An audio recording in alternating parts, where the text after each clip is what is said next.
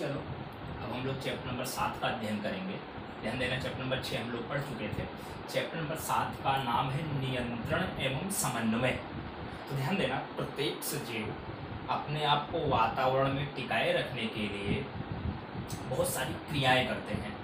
और वातावरण के अनुसार अपने आप को ढालते हैं या अपने शरीर में परिवर्तन करते हैं। तो वातावरण के अनुसार अपने शरीर में जो परिवर्तन करते हैं, उसी को अंक्रिया कहा जाता है। मतलब वातावरण के प्रति जो क्रियाएँ करते हैं, उनको अंक्रिया के नाम से जाना जाता है, अपने आप को टिकाए रखने के लिए। ठीक है? यहाँ पर देखना सभी सजीव अपने पर्यावरण में हो रहे परिवर्तनों के अनुरूप अनुक्रिया करते हैं। मतलब जो पर्यावरण में परिवर्तन हो रहे हैं, उस परिवर्तन के अनुसार अपने आप को ढालने के लिए, अपने आप को बचाए रखने के लिए, अपने आप को टिकाए रखने के लिए क्या करते हैं? अनुक्रिया करते हैं। मतलब उसके प्रति तमाम प्रकार की क्रिया करते हैं जिससे उनका अस्तित्व तो बचा रहे। ठीक है? तो पर्यावरण में हो रहे ये परिवर्तन जिनके अनुरूप सजीव अनुक्रिया करते हैं। मतलब जो पर्यावरण परिवर्तन हो रहे हैं, जिनके अनुरूप सजीव क्या करते हैं? अनुक्रिया करते हैं। उसे हम उद्दीपन कहते हैं। उसे हम क्या कहते हैं? उद्दीपन कहते हैं। जैसे प्रकाश के प्रति उद्दीपन करते हैं, सजीव उष्मा के प्रति करते हैं ठंडे के प्रति करते हैं। जैसे हाथ से टच करे, ठंडा या गर्म लगता है, उसका एहसास करते हैं।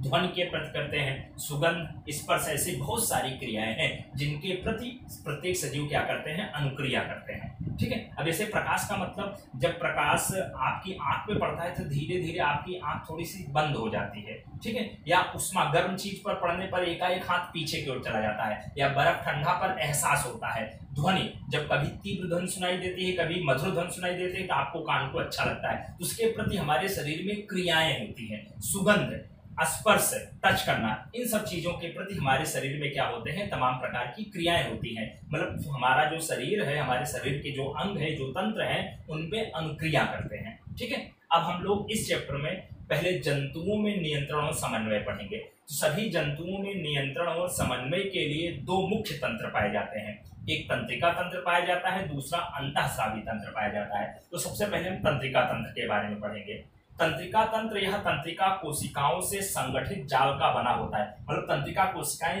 एक दूसरे के साथ नियमता जुड़कर एक बहुत बड़े जाल का निर्माण करती हैं। उसी जाल को हम तंत्रिका तंत्र कहते हैं। और इसका काम क्या है? यह सूचनाओं को विद्युत आवेग के द्वारा शरीर के एक भाग से दूसरे भाग तक ले जाता है। जो सूचनाएँ होती हैं, जैसे गर्म की सूचना, स्पर्श की सूचना, ठंडेपन की सूचना या उष्मा की सूचना या प्रकाश की सूचना या सुगंध की सूचना, उनको विद्युत आवेग में बदल देती है। फिर शरीर के एक भाग से दूसरे भाग तक ले जाती है। ठीक है? और ये ध्यान देना, जो सूचनाएँ ग्रहण करते हैं, उनको हम ग्राही कहते हैं। तो ग्राही, यह तंत्रिका, कोशिका के विशिष्ट कृत सिरों में पाए जाते हैं, जो वातावरण से सूचनाओं का पता लगाता है। ये ग्राही हमारी ज्ञानेन्द्रियों में स्थित होते हैं। हमारे शरीर के अलग अलग भागों में ग्राही पाए जाते हैं, जो वातावरण से सूचनाओं का पता लगाते हैं, उनको लेते हैं और फिर उसके बाद तंत्रिका तंत्र उनको विद्युत आवेग में बदलकर शरीर के एक स्थान से दूसरे स्थान तक ले जाती है। जैसे हमारे कान में ग्राही पाया जाता है, जिसका काम है सुनना और शरीर का संतुलन बनाए रखना। हमारे आँख में भी ग्राही पाया जाता है, जो प्रकाश ग्राही मतलब प्रकाश के प्रति आँख में संवेदना दिखा,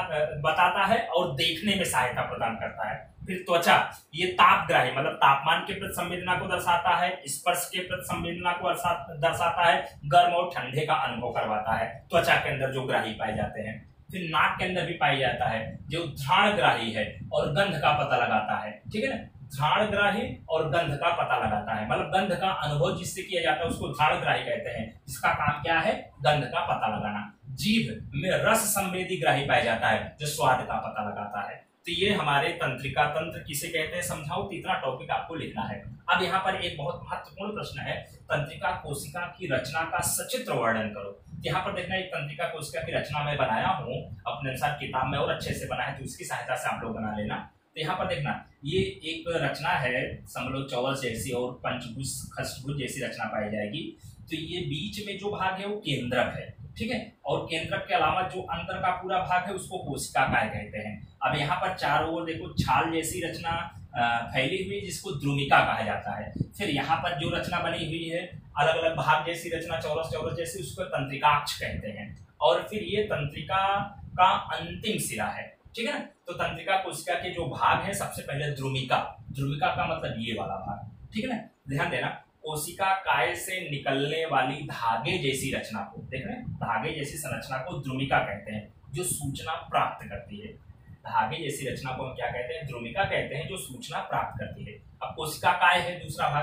कोशिका का है क्या है? ध्रुमिका से प्राप्त सूचना को विद्युत आवेग के रूप में चलाती है। मतलब जो द्रुमिका से प्राप्त सूचना होती है, उसको पहले विद्युत आवेग में बदलती है, फिर उसको एक स्थान से दूसरे स्थान पर ले जाने का कार्य करती है।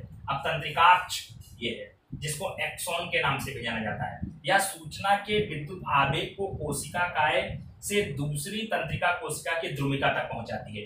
मतलब यहाँ से विद्युत आवेग के रूप में जो सूचना प्राप्त हुई, यहाँ से गति करती हुई तंत्रिकाक्ष में आई, फिर यहाँ से ये अंतिम श्रेणी में ले गई, फिर यही दूसरी तंत्रिका कोशिका जस्ट इसी के बगल में लगी होगी, जिसकी ध्रुविका यहाँ पर लगी होगी। तो उस ध्रुविका तक पहुँचाने का कार्य करती है। फिर उसके बाद है अंतर्ग्रथन, जिसको सिनेप्स कहते हैं। यह तंत्रिका यह तंत्रिका के अंतिम सिरे तथा दूसरी तंत्रिका कोशिका के बीच की खाली जगह है। मतलब एक तंत्रिका का अंतिम सिरा है और दूसरी तंत्रिका कोशिका यहाँ पाई जाएगी। तो दोनों तंत्रिकाओं के बीच की जो खाली जगह होती है, उसी को हम क्या कहते हैं? अंतर्ग्रथन या सिनेप्स कहते हैं। और यह विद्युत आवेग को रासायनिक संकेत में बदलती है। जो विद्युत आवेग यहाँ से गया, उसको किसमें बदलती है? रासायनिक संकेत में बदलती है और जिससे यह आगे संचलित हो सके। मतलब रासायनिक संकेत में बदलकर दूसरी तंत्रिका कोशिका में चला जाता है। फिर यही क्रिया तीसरी तंत्रिका कोशिका में होता है। इस तरह से शरीर के एक स्थान से जैसे यहाँ से जो सूचना प्राप्त है, तंत्रिकाओं के जाल के द्वारा धीरे से हमारे मस्तिष्क में पहुँचता है। तो मस्तिष्क इस विद्युत आवेग की पहचान करता है। फिर उसके बाद अनुभव करता है। गर्म लग रहा है ठंडा लग रहा है या जो क्रिया होती है, उस क्रिया के अनुरूप हमारा मस्तिष्क सूचना देता है। और हमारे शरीर क्रिया करती है। तो इस तरह से शरीर क्रियाओं के प्रति नियंत्रण, समन्वय के बारे में, तंत्रिका कोशिका के बारे में और तंत्रिका तंत्र के बारे में अध्ययन किए और आगे की चर्चा हम लोग आगे करेंगे। ओके?